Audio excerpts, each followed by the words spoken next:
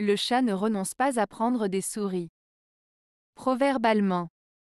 Ce proverbe signifie que les instincts et les comportements naturels d'un animal ne peuvent pas être facilement abandonnés ou changés.